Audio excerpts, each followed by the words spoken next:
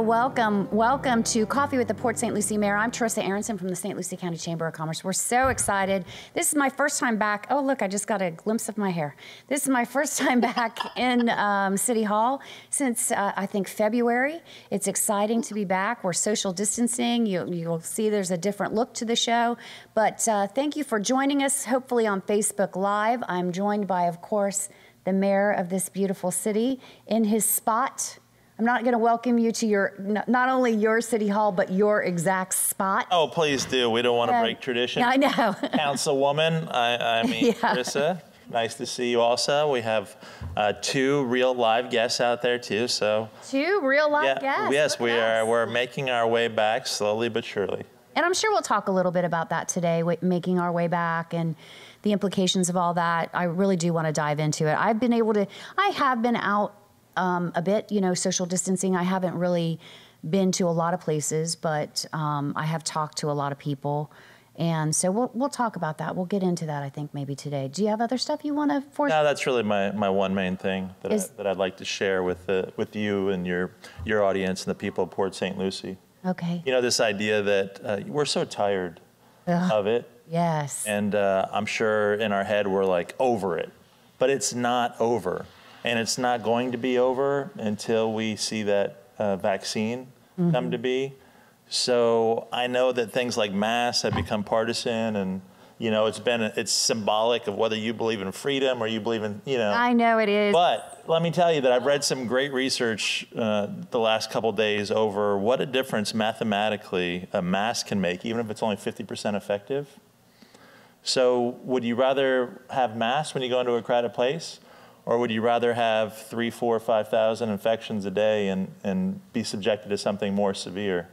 So I, it's isn't it easier just to wear a mask? I think you and I are going to be speaking the same language on this one. I think we feel very similarly, and um, but I it's important to discuss it more because I was just saying as I came in here today, I've ran into too many people that want to make this a partisan issue, and I see it as a safety issue, and I'm I'm I'm insulted by the the abundance of partisan play here. I don't think it's necessary, and so right. And you are very, uh, let me say, fiscally conservative and principled. I am fiscally conservative, yes. and that's fair to say. Yes. I'm very fiscally conservative, and I think that's probably the only place I'm conservative um, in principle. But yeah, this partisan play is is ridiculous, and I feel that the the people that are allowing themselves to be influenced by it are really diminishing their own power. And that's sad well, too. that's deep. Yeah, yeah. Well, and, and uh, you don't have to wear this in your car or any of that. That's not where, but when you go into Publix or you go into a restaurant mm-hmm. or you decide that you want to get together with 50 of your friends, that's a really good time to, to wear one of these. Yeah. And please do because it beats the alternative. It does. It does. But yeah, we're going to be speaking the same language, I'm sure, today, which is good. I always like it when we're on the same side. Well, makes for a less tense meeting. It does. It makes for better viewing. well, maybe, maybe not. not. Yeah, jinx. Actually, so um, we're going to jump right into visiting with our sponsor. Our poor sponsor's like, oh, it's going to be a hot show today. and, and they're going to be with us too. So please welcome, of course, our partner last year, our partner this year, Mid Florida Credit Union. I know we have um, Shrita Walker, Maylin Johnson. Thank you both for being with us today. Josephs.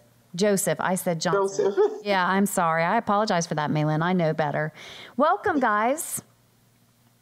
Good morning. Thank you. Thank you. Good morning. So we're um, we've already hopped right into it, the mayor and I. But I just want to mention that you guys are open. How are things working? What's your COVID plan for operations out there at Mid Florida's? Malin? Well, we're we're open and um, readily available for all our members. Um, sanitization all over the place, mask by all means, and you know we are a financial institution, so um, we want to protect our members as long as ourselves. So um, when you come in, prepare to be sanitized. In other words. good. Good. But, um, yes. Good. And Mid Florida, tell us all your location sites. And so previously you were open sort of by appointment only, but now you have regular hours, correct? Correct. Yes. Now we are open. Um, regular hours. Our lobby is from nine to five, Monday through Thursday, Friday, we're open a little bit later, 9 to um, 6 o'clock. And of course, our drive through is 7 to 7, Monday through Friday. So we're available for the members' needs when they need us. Um, we're, we're here. We're, um, even when uh, we were closed through the lobby, our drive through was still open for our members. Yeah, I remember that. And uh, and as you know, we do have the three locations in the area: um, US One, Port St. Lucie, and then we have um, on St. Lucie West, corner of Cashmere and St. Lucie West, and then we have Gatlin Boulevard. Very good.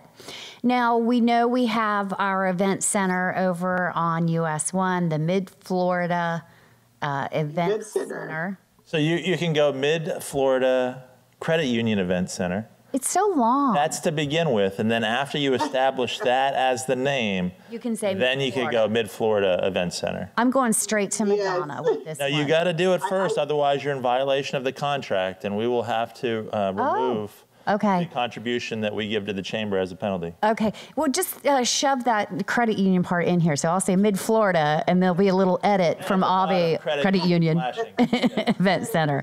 So please feel free to edit me with any voice you so choose. Hopefully, a male robotic voice would be my favorite. I would love that. I apologize. No, I'm So- No, I you're, know. you're good. It's very serious because I got the same lecture from Sarah Prohaska. Our Okay. PIO. Oh, Yes. Yes. No, Mayor, you can't do it that way. I was like, what? Yeah, I know. I know. Shrita and Malin, they're not lecturing you, but oh, I no, can they see totally that Sarah. would. They totally would. No, I can see that Sarah would put the hammer down on that one. I apologize. Mid Florida Credit Union. Did I ever tell you about the time I called Shrita late at night and her husband answered and was like, who's this calling? Oh, really? I love that. You called her Classic. late. It's a oh, classic story. jeez. Yeah, I like to tell it. Um, my, you know, my husband doesn't love it when people call late at night, and he doesn't care who calls me. It's just that you know, at a certain time, he feels like it's over for you today. Oh, I, I would, if the situation was reversed, oh, I'd be right there. So I, I consider him a good friend now. Oh, good, good, good, good, good, good. He's nice. He's very nice. Do you mind that we're just sort of sidebarring on your uh, husband hey, and? hey, and it's Friday, so Yeah, there you go. Very good.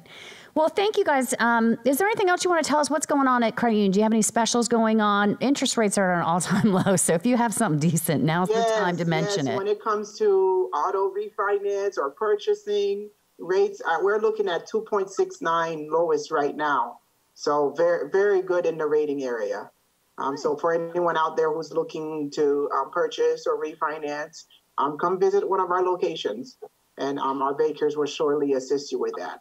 We love it. We love it. Anything you need to add, Shrita, before we uh, dive right into to what's on our minds? Which I think there's a lot on my. I really do have a lot on my mind today, so I don't know how long you budgeted for the show. Well, we could really, No, we, we could really have a hot take here. I don't know if it'll run afoul of uh, mid-Florida policy, but you know, if we want to talk about any of the issues uh, facing our society today, I'd, I'd love to hear from from our friends at, at Mid-Florida and, and Shrita's. You know, I talk to her all the time about too. any of the things happening as a result of the the killing of George Floyd and what it means for the country and, and for our community specifically. I'd love to listen if if they want to share any thoughts. I will um, actually give them the platform if they want to, and I'll actually actually give them an out if they don't want to. Accordingly, we should always do that yeah. for our guests. Yeah, definitely we want to do that for our sponsors. I do not want to put them on the spot for having to speak out on whatever's going on in the country right now. And I always speak on behalf of my members, as you know. So I have to tread lightly too. I, I do, but I think there's also a time when you can't be quiet about certain things. So we'll see how that goes today. We'll just see what happens and look at, look back in hindsight. So, all right, Shrita, Maylin, anything you want to add before we head out? Oh, no, just to piggyback on what uh, was referring to in reference to our auto rates, refinance and purchase, we do have um, specials, 36 months, up to 36 months, uh, 1.99 interest rate, um, depending on your credit, and also 90 days, no payments. So those are a couple things we're highlighting right now. Home equities, we're still loaning on those as well. No closing costs. So You have to have money at the end of the 90 days, though, right? Yes. Yeah, that's I'm, I'm out. That sounded good for me until the end there. But Yeah, you definitely have to eventually start paying. It's not um it is not a PPP loan. it's not a gift That is or a grant. No, It no. doesn't convert to a grant at the end. It does not. So very good. All right. Well, thank you to both of you, and a huge thanks to Mid Florida Credit Union. You guys have been such great partners over the years, and we've gotten to know so many of you. And I and I am I love my Mid Florida friends, and they know that because I not only just say that, but I've got the home equity loan and the savings and all that kind of great stuff with them. They're- They're great, and they're an active part of the community. And ever since they've joined us, they've just been at everything, and they're participating at every level of our in our community. And I think it's exceptional. And I appreciate uh, Shrita allowing me to have some fun and always being a good partner. Yeah, she got a great sense of humor. She does. We It- love you guys. Is that uh, Shrita? Is that art in your house or is that at the bank? Where- where- where- No. It's at home. It's at home. All right, that's nice. That's very strategically located. And uh, The I know you should very- talk to Councilman Morgan. She is the master of the backdrop. She's very good at it. Yeah, she figured it out. She she did all kinds of tours. I know they rate you on that. I've tried, but I'm such a minimalist. Like it's just me, a wall, and like I try to put up one little tchotchke. I'm not good at that. But yes, your artwork is lovely. Maylin has the distinctive sight of uh, commercial retail tile above her head. Yes, yes. So, yeah. We're, we're counting the number of tiles to see how big the office is. So I know she's So, at the office. Yes. Well, thanks, guys. Have a great day. Thank you for being with us. Remind everybody Mid Florida Credit Union, several locations here. And if you live, work, or worship in our area, you too can be a part of the Mid Florida Credit Union family. All right. Absolutely. Thanks, Thank guys. you. See you Thank, soon. thank you very much for your support. Thank you. And for those of you watching at home, I'm doing this to this, you know, to the desk because that's where I see them, and I just realized how stupid that must look. but yeah, I'm waving goodbye to the desk. All right, very good. Moving on. Did a wave back. That's I the know question. that, that. If I said it did. um, okay, so here we go. We're going to dive into it. We we mentioned it at the front of the show. Um, I've seen a lack of masks, and I've seen a lot of theory on masks, and very little of it scientific. You know, um, and that's what scares me.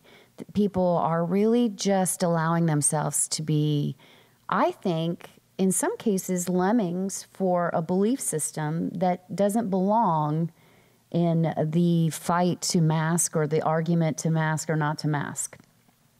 Wow, you're gonna you're gonna make a, a stronger statement than than I am, and I would always encourage people to, along the same lines though, I always encourage people to find the research. There is some research that's becoming available. Mm-hmm. It's in some of the outlets today, including the Tampa Bay Times, and there's a couple different studies, and both studies were indicative of mass working, even when they're only 50% effective. Remember, if we all had N95 masks Yeah. we'd be rocking it because that keeps out 95% of the particulate matter in the air.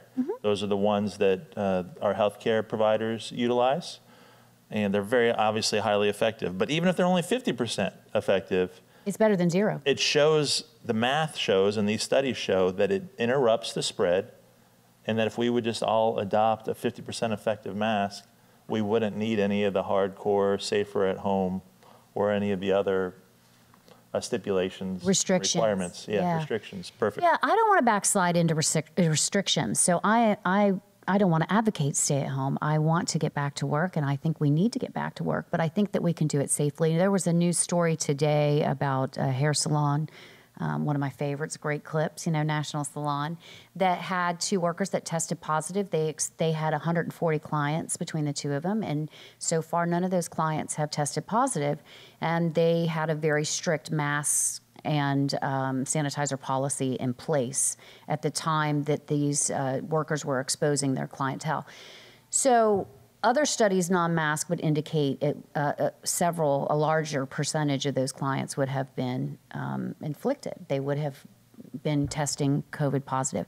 So I think that if you don't want to read something out of scientific journal about the efficacy of masks, you know there are short clips on online and on news outlets and even on Facebook that can show you the effectiveness. But of course, with that, you also get the other side. And that's how our country works. You should be able to get both sides, right? You should. And I guess one of my issues with Facebook and social media is how many times does it actually change your mind? So we're having this discussion in, in my ho- household because my wife has become very active on Facebook. Okay. And in many ways, she's uh, had an awakening to certain issues she's very passionate about. And she's frustrated by what she's seeing, especially among uh, her friends and people that she's known for years. And she never knew that they felt a certain way. And that can be very hard to deal with and accept. it, it is. But I'm not sure that, you know, if we, you and I were going back on Facebook, I'm not sure there's anything I could say that would actually change your mind. And, and maybe not you, maybe you would be the exception to that, or I would be the exception. But for a lot of people, I think it's just an opportunity to, to dig in further, to hear what you want to hear, and just mm-hmm. to kind of vent versus really listening, empathizing, analyzing, learning, getting better. I agree with you. I would never advocate Facebook as your um, educational tool or your your sole source of news gathering. Um, and you know, I'm not a huge Facebook uh, participant. But I do see, and, and it's funny, I had this conversation with a good friend of mine the other day that said he went on Facebook and he learned a lot about somebody that he considered a friend and was shocked at what he learned. And, and that's the chance you take when you engage in Facebook. But I do want to say that I have all kinds of friends from all over, you know, with, uh, with a million different beliefs. Some of them are, are ingenious, some of them are cuckoo for Cocoa Puffs. I won't name any names. But I enjoy all of them for different reasons, and I think that we all coexist very nicely. But I don't want their, their beliefs to infiltrate what I want to believe. I want to to look at both sides. I want to look at I do like science. I want to hear some, you know, I want to learn about particulate matter, but I do want to make my own decision and it is not aligned with any particular group. And that's what I would say is important for people to remember. I, I don't know. I don't like a group think. How do you feel about a group think? I'm, I'm a believer in the scientific method and kind of structural problem solving and yeah. You know, you, you listen, empathize, and learn on the front side. And obviously, I, have only been mayor since uh, 2014, but I've been in public service since 1996 now. And uh, yeah. after and over that whole time, I've been dealing and, and had the honor and privilege to work with the, the public. And you do a lot of constituent cases, and I've done it my whole career. And you find that there's at least three sides to every story. Always. Always. You know, on, on the simple ones, maybe there's 80%, you know, like we could agree that this is the same, you know, we're in the same family of colors. And we can get, we, we can, you know, we got very strong correlation there where we're like, yeah, we're, we're together on that. But on the complicated issues, especially if you get into a 50 50 or even a 60 40, yeah. then there's all kinds of viewpoints. And at a very minimum, there's your opinion, my opinion, and then the truth. Mm-hmm. So you're always looking at three and we owe it to each other to try to see it from as many sides as possible. And then uh, if we could uh, agree on some of the same facts and talk about how we approach things, what our values and principles are, then we can get to finding common ground. Because shared interest is where it's at, right? Wherever there's overlapping interest, even self interest, I know some people think that's bad, self interest is terrible. Let me tell you that Mother Teresa acted in self interest. She just, her interest was helping other people. That's like what made her fulfilled and, and, you know, got her going. That's what kept her stoked, is helping other people. That's what made her feel good about her life. Yes. And yeah, um, so there's um, nothing wrong with that. Yes. And yes. so where our interests overlap, that's where the magic happens. Yeah. And so if I say that you're terrible and you know you're a terrible person and I hate you and, and you do the same, we're, we're saying that we don't want to work together and find that overlap. you know, we're foreclosing the opportunity to find it. So yeah, I'm very fact oriented, and and when people say they don't like science or you know 99% of scientists are wrong, I'm like, but you're talking on your smartphone. Mm-hmm. Like, what do you think went into manufacturing this phone? You know, the same principles, the same problem solving, you know, that that you're discounting on this opinion went into Science, yeah. yeah, creating this. This is this is science. So I'm a big believer in the scientific method, and unfortunately, you know, our behaviors and our feelings sometimes, you know, they they sometimes conflict with that. We don't want to accept it. It takes time for us to accept things uh, as we move forward. And originally, the ma- the uh, language on face coverings and masks wasn't good.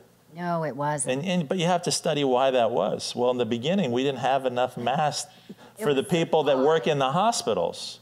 So you're trying to keep, Minimize Yeah, you're trying to keep the, outside. the rush. Yeah. Because we can see what happens when there's a rush on a certain good. I toilet paper. All right. Yes. Yeah. So I think that they were keeping this very simple message because they didn't want there to be a rush. They didn't want to take them out of the hands of the hospitals because that was the first order of business is, hey, you got to get it, you, got to get this personal protection and protective equipment to the hospitals. And then, man, it would be nice to get them to the first responders after that. I mean, we, we still haven't caught up with that. But I mean, come on, there's a reason why other cultures have been using masks for, pan, you know, for contagions and, and uh, things that could turn into a pandemic for years. Yes. They, I think it's, there is some effectiveness. I would hate to. Science is, I think, undeniable for most. I mean, science exists because how else would we have, be able to move forward with technology? That is science. Now, and I also think that it's great that people have different beliefs, and I want to I want to be respectful of those beliefs because it's fine if you if that is truly what you believe. Um, and and that's where you want to live. That's great too. But I would say that I I ask them to then just be courteous. Um, I've had a couple of instances, and this is, might be why I'm fired up about it. It could be. You are. I mean, this is. I know this, is probably very, the very most that up. I have emoted, I think, probably on the show. But I understand where some people live on this issue, and I and I I'm okay with that. That's fine. You can live there. But when you come at me with a hug when I'm clearly masked up because you're insisting that it doesn't exist, I find that disrespectful of me. A- And, so it's okay for you to, to feel that way. Um, go right ahead. But don't charge me because you're sure Yes. this is not a thing. And I would just ask you to please respect other people's beliefs and err on the side of caution.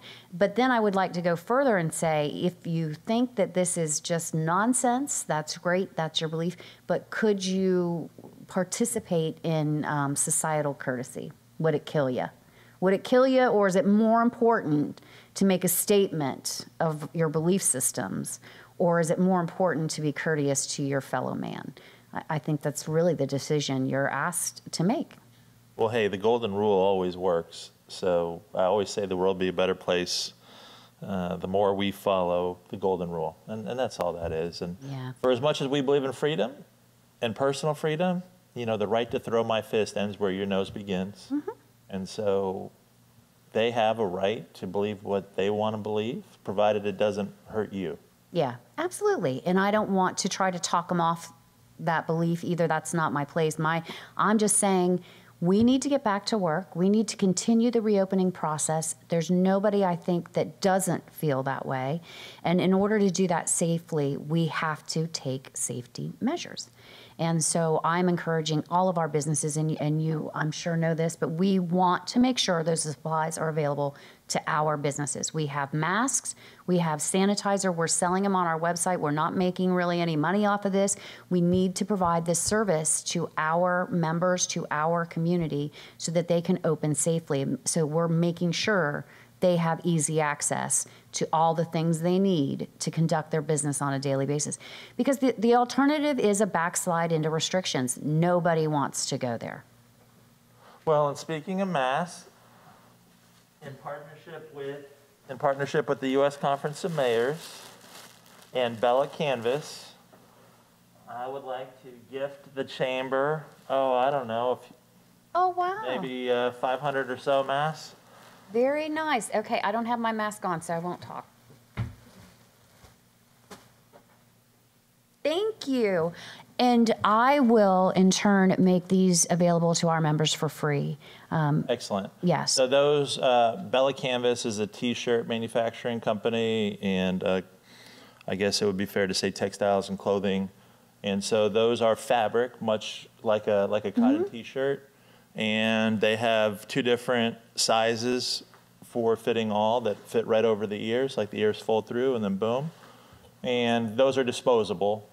Oh, they are disposable? They can be technically they can be washed. Okay. But they're really made to to be like one per day Okay, perfect. I'm going to send an email blast out that says my, um, and we only have 500. I want to say that because last time I sent an email that said we had some free masks, we got inundated and we didn't have 10 million masks, unfortunately. So we have 500 masks, a gift from the mayor through the Council of Mayors. And yes, the U.S. Conference of Mayors and Bella Canvas. And I'm going to make sure that they get to businesses. When we did do that, we had the te- we gave them free masks. We tried to do those with retail outlets um, first, so that they could reopen safely. We have them available. We have cloth available as well, and that's with the local manufacturer. So we're excited about that. Oh, that's great. I know. I, you know, we weren't able to offer the best price. I'll just be honest on the cloth masks. Uh, our our disposable masks, I think, are very very uh, competitive. They're less than a dollar with tax each on our website. But our cloth masks are you might be able to get them somewhere cheaper. But I'm encouraging you to still try to pay the extra dollar to get them through us because it is a local manufacturer. So all that money stays here in the community. So they can go right online, stluciechamber.org, and order that. And then we've got um, commercial sanitizers available as well on um, our website. So I have a lot of money wrapped up in this, and we don't have much money, but I just am I'm fearful, and I want to be able to provide this service at least through December. And so that's why I bought so much on the front end because I didn't want to buy a couple thousand and you know be able to do it for a week. We actually sold 6,000 masks in the first three weeks we were selling them. We sold 6,000 masks. So people are utilizing it. And we've got manufacturers, doctors. One of our local doctors uh, uses this completely for their sanitizer and um, disposable mask supplies. So it's our, our, we have gotten a lot of great feedback on being able to offer that because there are times when masks were hard to get, um, they're gotten easier. But these are here. We actually do one day delivery. If you call me during the week and say you need them, I'll bring them out to you. That's So- that's great. and It's a great service, and to your point, it's not going away anytime soon. W- We've been talking about masks, but the real issue is the the spread of the disease, right? And right now, because we're in phase two of the the governor's uh, safe, smart, step by step plan for Florida's recovery, we're opening back up society. We're sliding up the dimmer switch are we seeing an increase in infections? Well, we are seeing numbers that we that actually uh, the numbers we had yesterday were higher than the previous peak. Yeah. And so the argument is again because there's different sides to every issues. Uh, on one side, you have people saying, "See, told you you shouldn't opened up so fast, so soon, Yes. you know, so much." And then on the other, you have, "Well, we're doing triple the testing, and that's why we have we're having this number of infections." Well, the truth is revealing itself every day, and we get to see, well, it's more likely that this is right or that this is right. And unfortunately, right now, we're seeing uh, the number of cases increase, which could be a, a result of testing. We could have always had that many people get infected, we just didn't know it. But the percentage Of of positives is also increasing. Yeah. So will it be a modest increase, a tolerable increase to a majority of people, or will it become exponential and it you know goes from five to ten? You know that's what you have to worry about. So that's really what we have to be watching is the total numbers, the percent positive. Percent. But then the gold standard that we should all really be focused on is the hospitalizations. Because it's you know, especially as we get better at treating the symptoms and recognizing and testing, the thing is, people who are really sick and at danger of passing away from dying from, from COVID. So, hospitalizations, at the end of the day, that's the gold standard. Keep your eye on that. The only problem with that is it's a lagging indicator. What do I mean by that? I mean that when you, when you get this thing, it takes you a few days to show symptoms, right? If Up you're to going to two get really weeks. sick. Yeah. And then you're not going to probably have to be hospitalized in the first day. That's after you've been fighting it for a while and your body's losing. That's when you get hospitalized. So the reality is, if I get hospitalized today, I might have gotten it two weeks ago, and that's when Mm-hmm. we were at coffee with the mayor together. And luckily, we didn't spread it to them because they're so far away, and that's why that's important. But if we were in a room full of 150 people, Mm-hmm. it'd be a problem.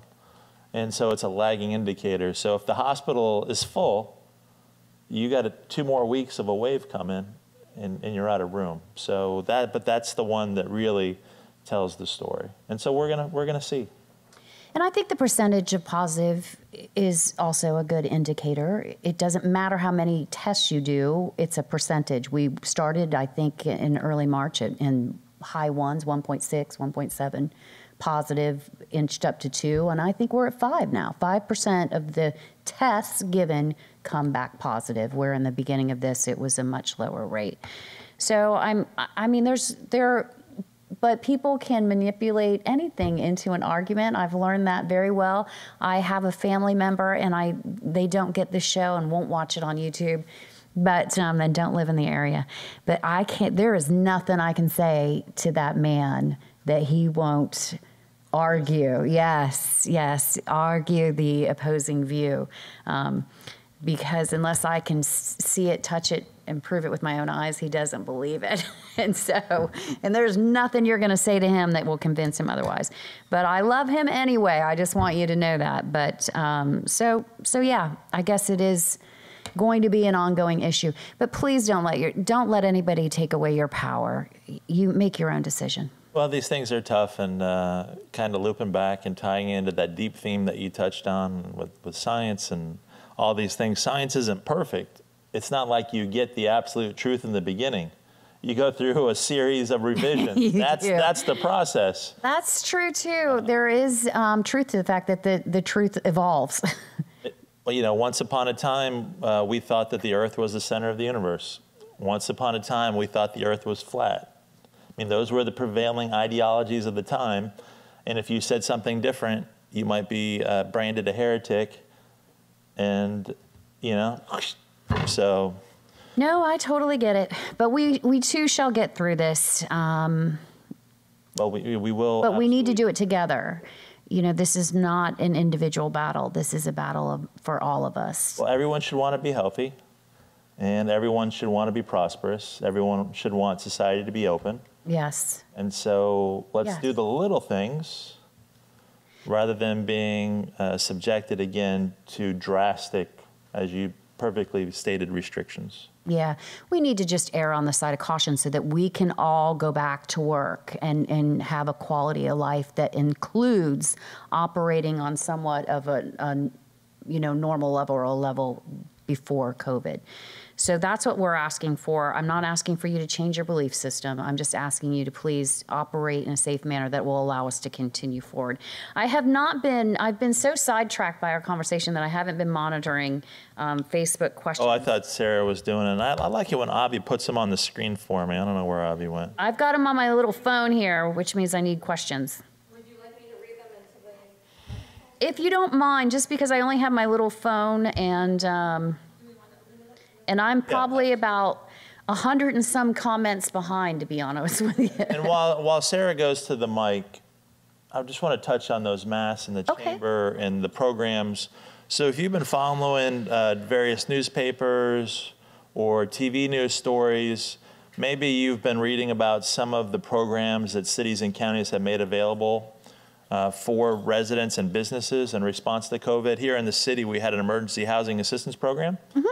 But a lot of places have business assistance programs also, Yeah. and they're like, "Wow, why don't we have that in Port St. Lucie or St. Lucie County? Do you not love us? Do you not care?"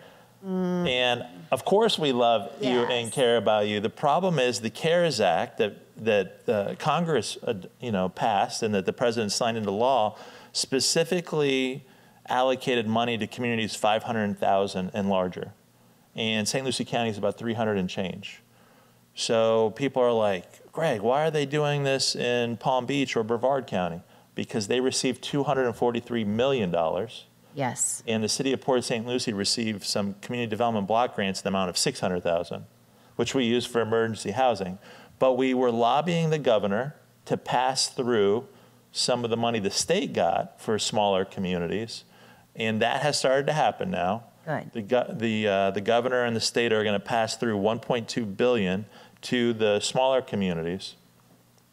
But we don't know exactly how it's going to be distributed through the county. So we learned that the state's going to do it, but it's going to the counties. Mm-hmm. And will St. Lucie County distribute it to the city? Will they make programs available to all county residents, including the city? That remains to be determined. So keep your eyes peeled on that. But you know, we continue to work on things that we can control, like application fees, process, and you know, random acts of kindness Yes. where the U.S. Conference of Mayors and Bella Canvas stepped up. My first thought was was you and, and small business and, and the businesses of St. Lucie County. I appreciate that very much, and we will make sure that they they get to the right people that need them. Um, we too looked into doing some microloans, and we just didn't have enough money to be effective in any real manner. And um, so we we pivoted and put that money into being able to provide supplies. Um, and and to, we're not going to get grants. Grants go to governmental issues or uh, jurisdictions like the county and the city. And I know that you guys haven't gotten those yet because I knew about the 500,000 or larger. So I'm I'm pretty sure I feel confident that the county will make the right decision to distribute that amongst the entire county. Well, if you if you feel like uh, you know sharing your opinion with I will. I absolutely will. I will. Um, but I feel confident that we can make sure that that happens. Um, so, so I'm not too terribly worried about that. But there always is a limited amount of funds, and if I have twenty thousand dollars, how many businesses can I actually save? But if with twenty thousand dollars, I can make sure the majority of those businesses have access to masks and sanitizer. So that's the decision it's a great analysis. Yes. you know, we decided to go that way instead of doing um, the microloans. It's just I can't help enough people, and I want to help as many people as I can. I've definitely seen the the darker darker side. The U.S. Chamber of Commerce had a grant program Yes, that I merely tried to make people aware of. it was and gone then- before you made them aware. Well, I, I, I was fortunate enough to get on the front side so people can make application, but you know, if, of course, the traffic crashed the website. Of course. and they ran out of money like that. Mm-hmm. And not all of our zip codes were eligible because they had to have sorting criteria. They Yeah. knew going in that, hey, we only have so much money. There's this astronomical need. We have to focus it.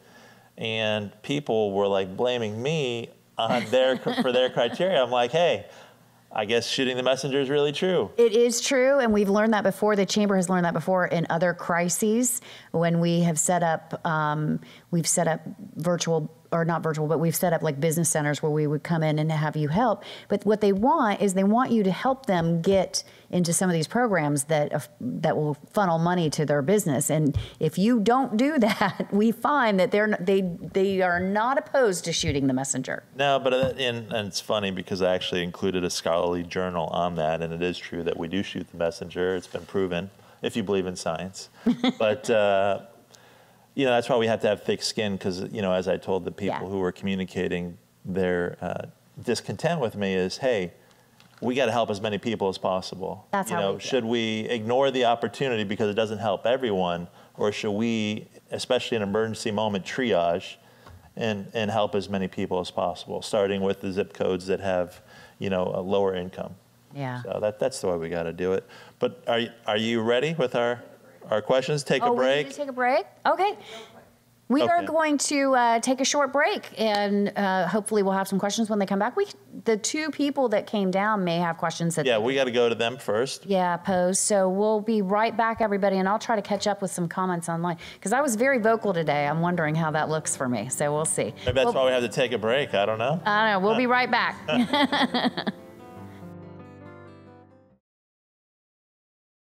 Introduce yourself to, to us and the, and the people of Port St. Lucie. Good morning, Mr. Mayor and uh, Mrs. Aronson. yes. Pleasure to meet you. My name is Melvin Quinones. I moved into the city of Port St. Lucie six weeks ago from Broward County. And uh, one of the things that attracted me to move here is uh, I see the growth, and it's evident that uh, what you're doing, Mr. Mayor, is working. Uh, I believe in the vision and, uh, and what I'm seeing. So that's Well, what glad to attracted me you. to move here. Um, and uh, I am starting a new business, right? I started like three years ago. I'm a developer of musical instruments. Oh. Uh, and uh, they will have uh, a lot of it, it is something very common that you see the name of the city uh, in the instruments. So you will be seeing uh, musical instruments with the name uh, Port St. Lucie.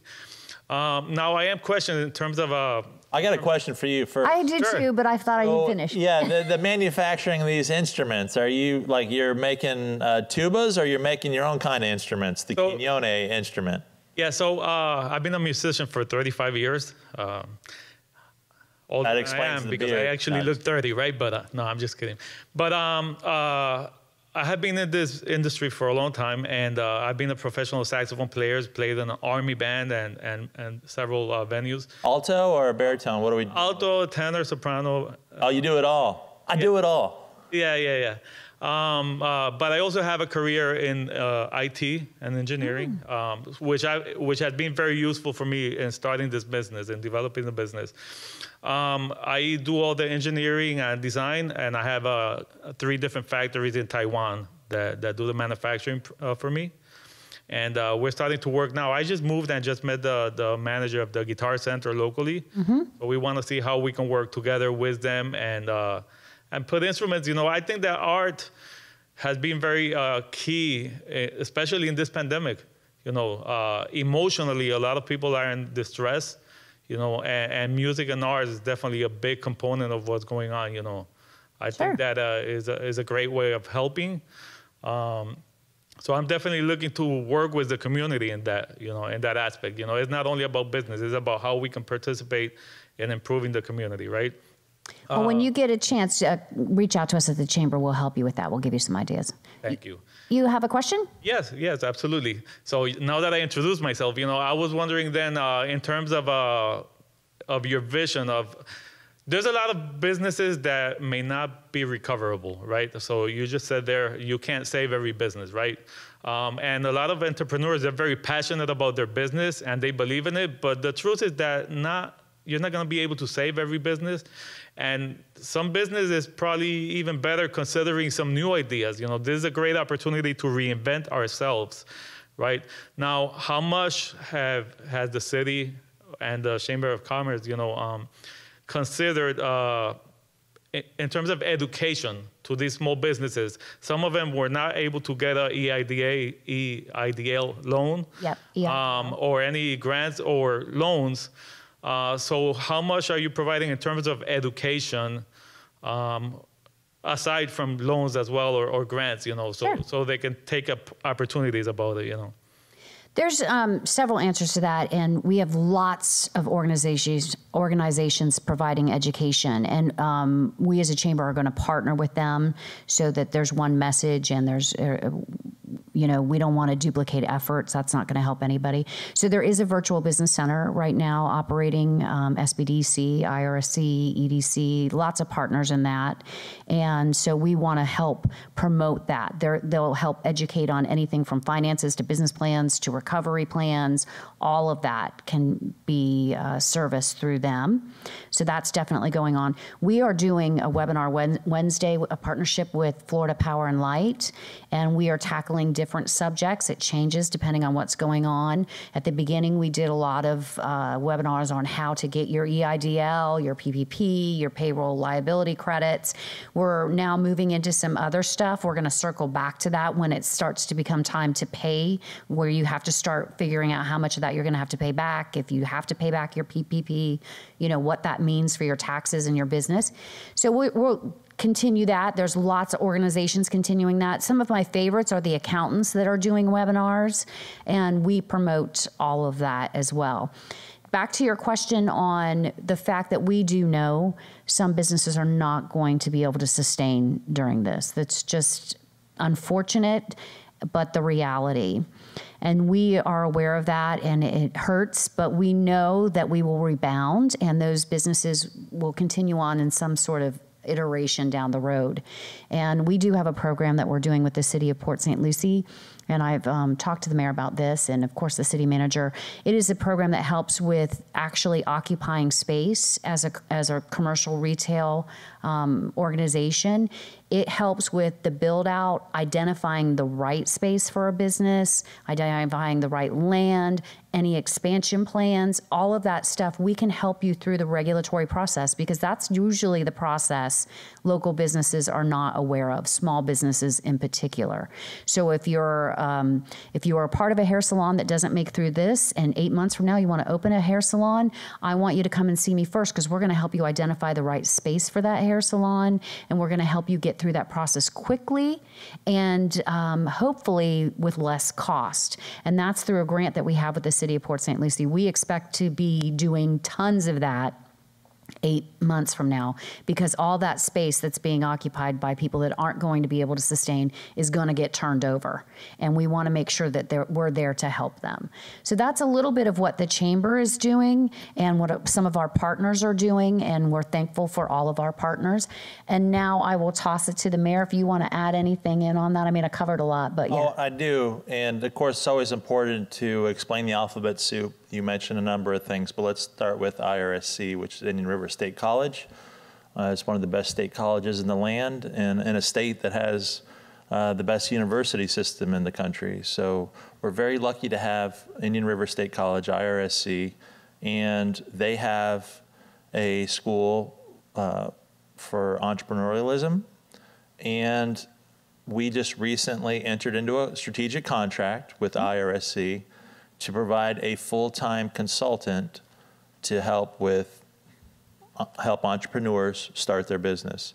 So that is a resource that's being made available, and as an outgrowth of that discussion, uh, we talked about creating a roadmap so that regardless of where you were on your journey of being an entrepreneur, of creating a business, that we would be able to direct you to the right program. So there is an organization of retired CEOs through a program called SCORE that can help people who have never done a business plan before, or they're just talking about their concept. And then as you start to graduate, you have the Small Business Development Center at IRSC, who we're contracting with, that can help you. And then if you're already an established company and you're looking to take it to the next level, that's probably when we would tie you in to our strategic partnership with the chamber. And then also, the, she mentioned the EDC, which is the Economic Development Council. So you would be uh, perhaps familiar with all these institutions being in Broward. I bought my first house in Pembroke Pines and graduated from UM. So like in Miami, if you hear the Beacon Council, you know, that's their EDC. And so we have those, those same type of institutions here. Just, of course, we're not as populous as, as Miami-Dade or Broward, but we, we, we pretty much have our own versions of them. But so we're, those resources are there. And then just to give you somewhere to go immediately, the city has a business navigator. His name's Elijah Wooten. His number is 873-6374. All right, again, that's 873-6374. So if you're a small business owner and you're looking to access the system or be pointed in the right direction, that's a great contact. Uh, that's the guy that's kind of entrusted and, and empowered to, to help. Uh, but we help at all levels. The building department has a number of uh, educational seminars. I don't know if we've gone online in, in the face of COVID, uh, but we're, we are trying to inform and, and educate. We recently had a small business program this last year where we took people through an education process and in return for completing the course, you got a micro loan. So we're working on, on all these levels. But, but what I really liked about our last conversation, in addition to strengthening the partnership with IRSC, which again is just, you know, it's been recognized, uh, it's Aspen Award winning, it's been recognized as, as one of the best values in education in the country, is this idea that we're going to create the roadmap. Just so it's, it's easy for people to understand here's where I'm at, this is where I need to go, this is how I could do it. Uh, because uh, to your point, opening and then maintaining a small business is difficult. Not everyone's going to make it. That's, that's the sad reality of it. So we want to position the people of Port St. Lucie to have the best chance possible. And I think you're right about what's going to happen in response to the current business closures. People are going to get out of this lease, but then they're going to try again because they don't have any other choice. They're going to have to try again. And we certainly saw that in the face of the Great Recession, which was really a depression here locally. You had a lot of people starting up businesses. and we reached an all-time high for the number of businesses in the city. It actually went down a little bit, even though we've been enjoying this economic expansion because a lot of those small business owners, when they had the opportunity, they went back to work, got benefits, and decided that, hey, I'll go do this rather than running my own shop. But we're, I think we're going to be in that period again where people are going to try to start from scratch. We're going to be here to help them. So again, Elijah Wooten, 873-6374. But no, we are on that wavelength, and we're creating a program so that in PSL, if you want to start a new business, we'll actually connect you to a professional who can help you and put you on the right path to give you a better chance at success. And I think that if we find that the program is oversubscribed and there's just so much interest, I- think that, I think there's a willingness uh, among the whole council. And, you know, you were very complimentary, Senor Quinones, so I really appreciate that. So thank you for your positivity and bringing that here to PSL. That's what we love, and we're so happy to have you. I'm just one of five, you know, up here. We have a great team. We have 1,100 employees working hard. And I moved up from Pembroke Pines in 2002. February 2002 is when I bought my house in PSL. I moved from Sunswept in Pembroke Pines over off the University in Taft Johnson area over there, 8591 Northwest 14th Street. Uh, so moved up here and, and just have loved every day since. And uh, I think I think you're I think you're gonna gonna love it too. Yep.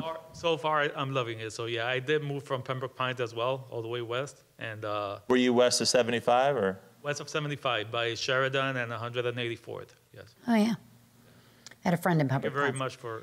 for Thank you for being the sole participant in our audience today as well. We appreciate you being here. And, but I think what has set the city apart in this most recent period, of course, it was great when we had the economic expansion because it's always easier when the economy is good and people are feeling more prosperous. They're in a better mood. They're not as worried. They don't have to worry about feeding their family. So it's a different dynamic. But this city's approach as a team to strategic planning, and if you ever get a chance, check out cityofpsl.com slash strategic plan uh, because we go through a citizen-driven process. We do a scientifically valid annual survey. We hold an annual citizen summit, and we use that to inform our decision-making. Because as you know, in a city of 200,000, uh, you ha- people want different things. They have different priorities, and you only have so much money, even in the best of times. It's really important to focus. And our focus is, of course, to be a, a safe, beautiful, and prosperous city for all people. So, big picture. And then on an annual basis, we update what our priorities are to, you know, move us a step further to, to reaching our, our promise there, our full potential. So we want you to be a part of it. And there's also a City University, award-winning City University program. You're to probably be pretty busy in a new place with a new business and, and all that good stuff. But if you ever get a chance and you just want to see how the city works and you want to learn more, it's a great program. And the chamber does leadership, St. Lucie, and uh, I did that as as new as being new to the community, in a in a public role, and I just loved it. Just loved it. Can't recommend it enough. I go through it every year. I still love it. Yeah, I, I facilitate that. Um, a couple other questions. I'm not one of five. I, that often gets confused in the comments. Oh yes, yes, she is. She is uh, not an elected official Thank in the city of Port. St. Lucie. I don't know if she's elected somewhere else, but I don't think so. And um, point of note, I don't hate meetings. I just have a lot of them. oh, she was sitting on that for a while. Huh? I did. I had to sit on that for like 20 minutes, but it was All still right, coming I back won't up. belabor I have point, even though you pretty much 23. told me that. Okay. Okay. I have 23 standing meetings a month, and I have not had those since this pandemic. 23, like every month I know on this Tuesday I'm going to be here. Um, through this pandemic, I am very productive when not going to 23 meetings a month. So I'm going to probably look at those even closer at the end of this and see what I've decided. So I don't hate meetings. Um, Sarah, do we have any questions that we probably should address online? Um, yeah, we've got quite a few, um, and unfortunately, uh, the way my feed is working, as new ones are coming in, the really old ones have disappeared. So we'll have to go back and answer some online. And that's what I was going to say. Maybe we do the the most um, probably necessary for a broad audience here, and then answer some of the other ones online, the specific ones maybe online. So here's a good one. Um, Okay. Dustin is asking, um, any updates on Southern Grove and where do you see this headed 10 years from now? And then he had a follow-up question with, what um, are the plans for extending Becker to Range Line? Okay, so Becker is slated to be scheduled to range line, as are several other east-west roads.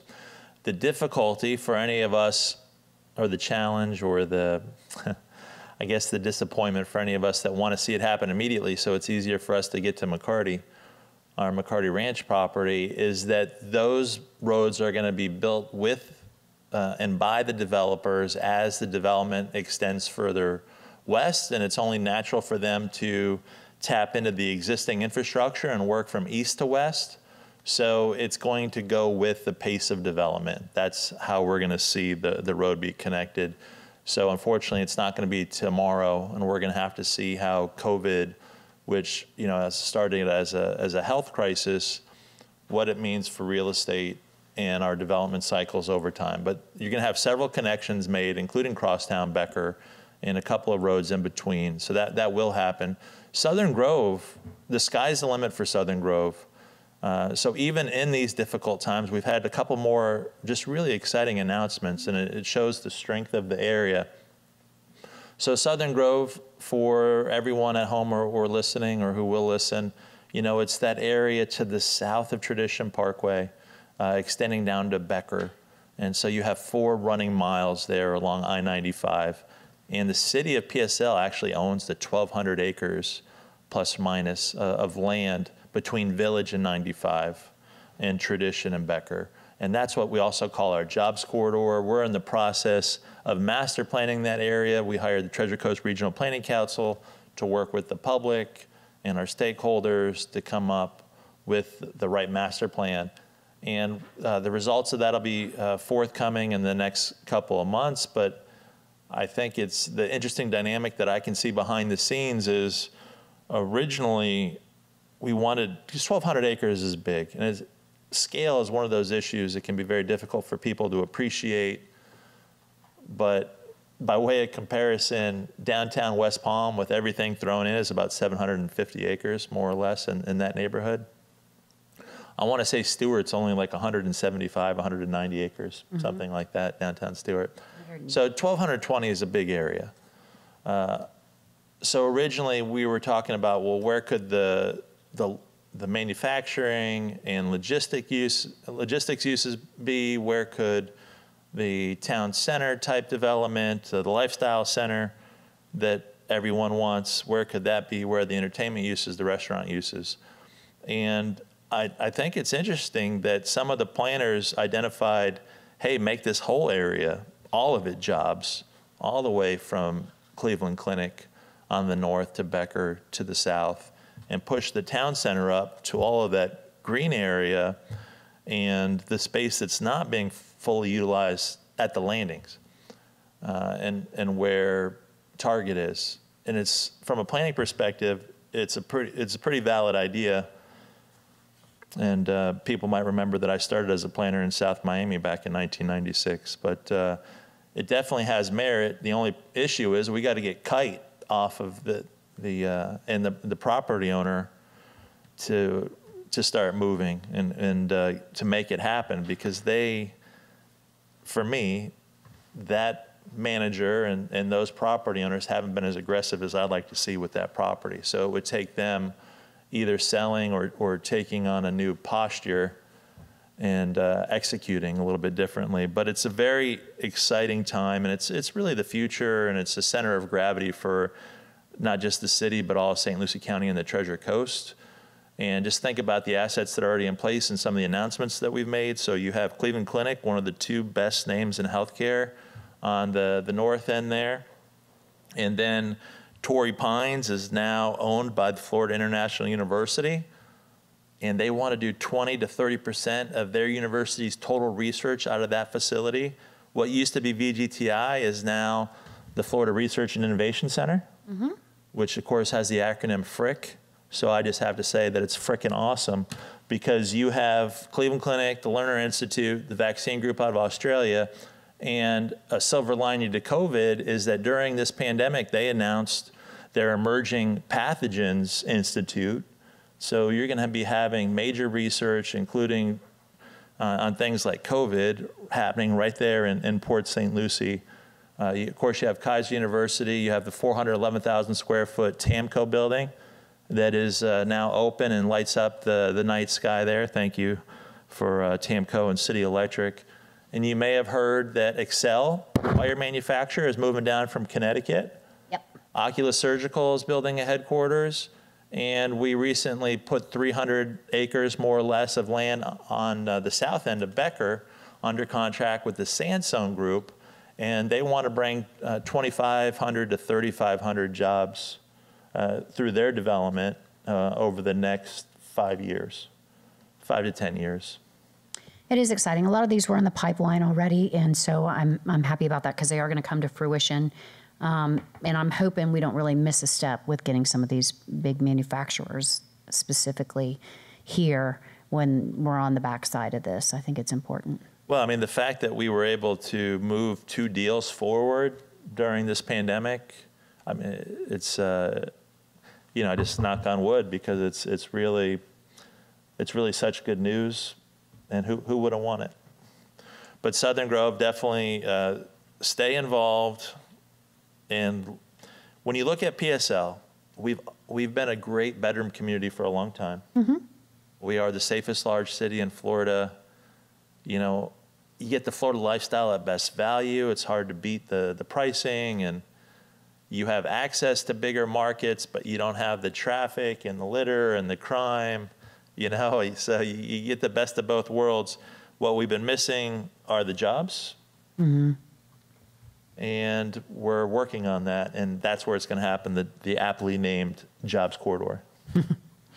All right, Sarah, do, is there anything else we should address? I, I think it's 10 o'clock. Is that is the clock right in here? That clock is, yes, it's not. We're long-winded today. Um, there are quite a few questions. Um, I, I'll just another general one that we you could. could we could let Terissa go, and I could just do all the mayoral questions. Are they all mayoral? I mean, A lot of them are specific to the city. They usually are, and and I'm not um, I'm not authorized to answer those, nor do I want to. But I'll, I'll, I'll run down the list. Just let's knock it out. Okay. Um, um, it's, uh, Nancy is asking about public transportation, and she's asking if we have an update on public transportation. She doesn't like to drive everywhere, and she'd like to see. It sounds like she's looking for more information on what's new with public transportation. Well, that's good question and very timely. Do you want do you want to answer that one? No, I mean we have a new partner that we're we're moving into. The county's moving into a new partnership with MV, which is sort of a national transit provider, which I think will open up a lot of routes for us. Is that who they selected? Yes, it is who they selected. So they went away from the Council on Aging. Well, the Council on Aging will still be providing services for the elderly and um, still providing some call services, you know, where they'll come out. Yeah, on demand. So, yes, they selected MV and um, very excited about that. And I love my partners at the Council on Aging, but to have a national transportation deal in place, it really is going to open up a lot for us. So, so I'm excited to see how that pans out. That's always been an issue for us is public transportation. So let's let's hit the big picture. So with public transit, it's a county service, not a direct city service. So the city doesn't uh, is not the direct provider. We lobby the the, the county commission and the the county provider, and they've been a good partner. So they have been increasing services in the city of Port St. Lucie, and the city has adopted uh, kind of str- strategic transit-oriented priorities. So there's actually a list that we can provide you if you want to email Sarah or me at mayor at cityofpsl.com. And a big thing we're trying to get the county to do is decrease the headway because it used to be that you know, routes only ran on an hour, and that's not convenient, especially if you miss the bus.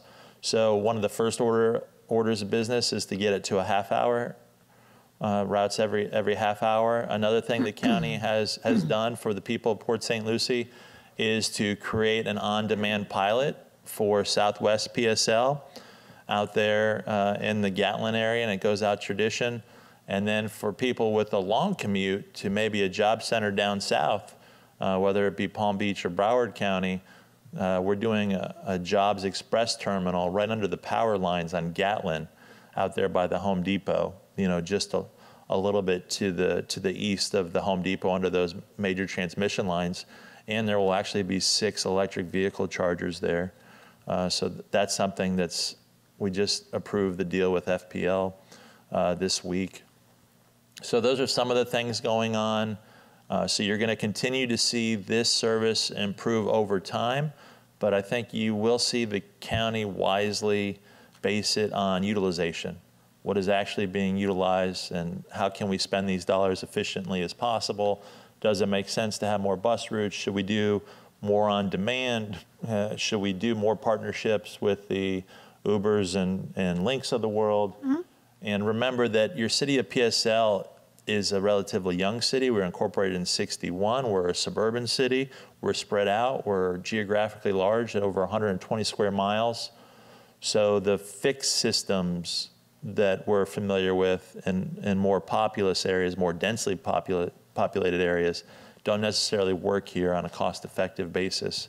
Uh, but there, there are some neat things going on, and, and I don't know where Nancy lives in the city, but in tradition, uh, we're also working on an autonomous vehicle with the developer Mattamy Homes.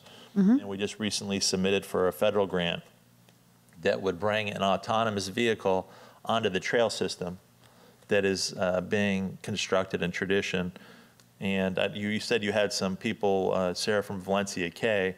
Of course, that's a, a gorgeous GL community, and one of their amenities is the Paseo, which is a multi-purpose trail that actually has separated paths for walkers and golf cart riders and bicyclists at speed, and it's just gorgeous. It's amazing. And a version of that is being extended through the whole district. So whether you live in Valencia Cay with GL or you live in the Mattamy side, they have Tradition Trail. And on a portion of that Tradition Trail, the trail is wide enough and will accommodate the autonomous vehicle. So you're off of the road, and it's kind of like a monorail without the billions of dollars of infrastructure putting it in the air. So it's it's really exciting. All right, I'm getting some instructions from from inside the house. The call is coming from inside the house. So I have to. I've been instructed to close out coffee with the mayor, and then we'll continue on with you being able to address the questions on a mayoral level. Um, I did want to mention on behalf of the chamber that we are continuing our partnership with Children's Services Council in the Small Business Big Challenge, and every Friday we designate one of our chamber member businesses, restaurants, for you to pick up your meals, whether it be lunch, dinner, whatever. And then in turn, Children's Services donates up to $1,000 in receipts to a nonprofit that they serve. This week it is Lakeview Bar and Grill, which um, I'm sure you're familiar with Creative Catering. They operate out of there. It's their restaurant, and it's in St. Lucie West, across from the Bank of America, in the in the um, St. Lucie Trail, I think they call that area now. So pick up your dinner there, Oh, St. and Lucie Trailer's your partner? The, Yeah, the Who's Our Family? yeah, yeah, yeah. Yeah, I yeah. love them. Karen and Andrew, and yes, yeah, we love them too. We um, so their business, they own Lakeview Bar and Grill. Sorry, my sinuses are really bothering me today. It's not COVID. I always feel like I have to say that every time I clear Well, my how can we be sure? You should go to You one of the new can't. testing That's why I'm wearing a mask. Walmart neighborhood uh, neighborhood markets, both of them in PSL are now offering testing on site. They are. Most of them are any. A couple of them are no symptoms. You don't have to qualify for, in other words, and the, and so that's important as well because previously you had to qualify to get a test, and you don't have to do that anymore. The other thing I need to mention is our annual fishing frenzy. Um, this is, you know, we've been doing this for decades, and it's a huge event. People come from all over South Florida to participate, and we have found a way that minimize any interaction with other people. Um, and we're going to continue on to do this. This is it's not only our, one of our largest fundraisers. Remember, the chamber's a nonprofit. We're private sector nonprofit. It's one of our largest fundraisers, but it brings in a lot to local bait shops, gas, dockage, all that kind of stuff. And we, the SKA, had to postpone their tournament, which we were expecting this year. So we want to step up, do our part, and provide our fishing frenzy. But I'm telling you, we're going to have very little interaction with people. You're going to weigh your own fish. You're going to pick up your placard through drive-through. Oh, wow, that seems like a recipe for some embellishment. Well, I'm there to verify the weight. I'm just not, Oh, okay. you know, I will I will look at the scale and verify the weight in the fish, but I am not going to get up there on the stage with you as I typically do. We also did our golf tournament, and it was um, very interesting. I had a lot of other people that are planning on doing golf tournaments come to figure out how we were doing ours, so they could figure out how to do theirs. But I, I'm fine with that. I love that. But it was basically we'll text you what hole you are on, you pick up the first cart in the line, and you head out because everybody had to go individually, so you didn't have to wait for a cart partner. So, um, and that was more than 14 days ago. So I'm very happy to report that I think we did that very safely. So all of this stuff is online, stluciechamber.org, including you can purchase um, these masks we're going to give away for free, but you can purchase masks and sanitizer at stluciechamber.org. Sign up for the Fishing Frenzy. We appreciate that. Um, thank you to our sponsor, Mid Florida Credit Union, and our sole participant here in City Hall today and all of your staff as well. They do such a great job. So thank you to everybody.